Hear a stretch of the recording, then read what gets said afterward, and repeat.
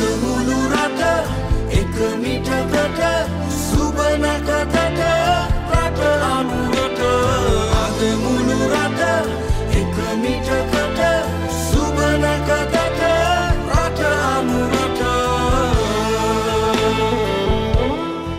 ජාතික ජනපලවේගේ ජනාධිපති දුරාපේක්ෂක අනුකුමාර දිසානායක මහතාගේ ජයග්‍රහණය වෙනුවෙන් අම්බලන්තොට මහජන ක්‍රීඩාංගණයේ පැවති ජන රැලියට සහභාගී වෙමින් ඒ මහතා මේ බව ප්‍රකාශ කළා. ජාතික ජනපලවේගේ නියෝජිතින් ඇතුළු කීප දෙනෙකු ජන රැලියේදී අදහස් පළ කළා.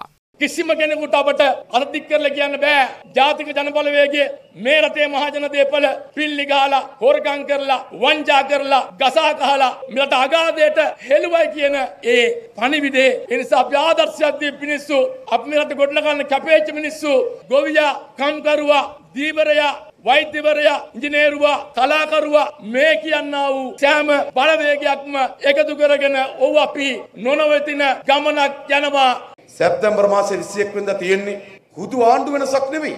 හුදු නායකයන්ගේ වෙනසක් නෙවෙයි. අපි එන්නේ සමාජ කාර්යයකට. මෙන්න මේ කාර්යය සඳහා අපි මේ වෙනස ඇති කරමු. ඒ වෙනස ඇති කිරීමෙන් අපි හැමදෙනාම එකතු වෙමු. ඒතර කට්ටිය කියන පෙට්ටියට දාන ඡන්දේ මාරු කරයිද දන්නේ. මුකුත් වෙන්නේ. ගණන් කරලා ප්‍රකාශයට පත් කරන රාජ්‍ය නිලධාරීන් තැපැල් ඡන්දේ 80ක් අපිට ආරක්ෂා කරලා පෙට්ටි මාරු කරයිද දන්නේ නෑ. ගණන් කරන මධ්‍යස්ථානට පෙට්ටිය ආපුවා මේක බාරගන්නේ පොලිසිය මහත්තුරු. ඡන්ද පෙට්ටිය පුරවනකම් බලාගන්නේ පොලිසිය මහත්තුරු. ඡන්ද පෙට්ටිය පුරවලා කච්චේරියට ගෙනෙනකම් ඒක ආරක්ෂා කරන්නේ පොලිසිය මහත්තුරු.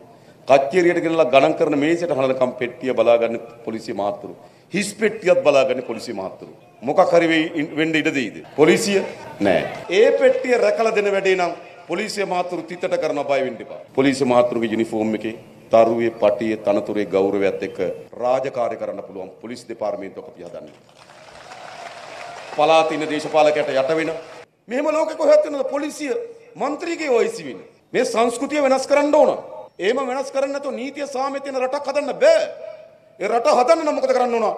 පොලිසියට දේශපාලන ඇඟිලි ගැසීමකින් තොරව රාජකාරි කරන්න පුළුවන් අවස්ථාව දෙන්න උනා. අපි ඒක හදලා දෙනවා.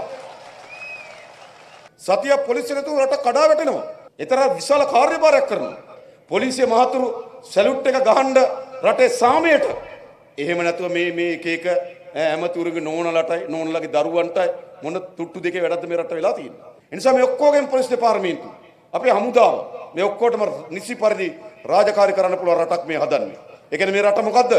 හැමදේම අලුත් වෙන රටක් හැමදේම වෙනස් වෙන රටක් අන්නේ රට ගොඩනැගීම වෙනුවෙන් අපි සැප්තැම්බර් මාස 21 වෙනිදා මාලිමාව ජයග්‍රහණය කරමු